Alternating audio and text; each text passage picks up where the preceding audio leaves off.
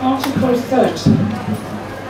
Nothing in this declaration may be interpreted as implying for any state